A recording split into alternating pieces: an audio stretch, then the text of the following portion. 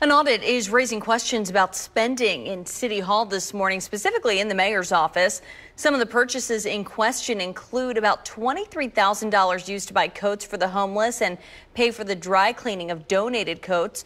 More than $1,300 was also spent on furniture, $500 at an Orioles game, and $300 on lunches.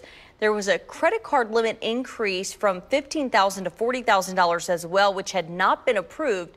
Baltimore's director of finance says the limit increase was valid, but was not documented correctly. We didn't put a memo in the file to indicate on this particular date we increased the card by X amount. Other than that, there was nothing inappropriate with that particular transaction. A reimbursement has been requested for the furniture purchases and the money spent at the Orioles game. Money for the coats has already been reimbursed. The director of finance says the money spent on food was reasonable and appropriate.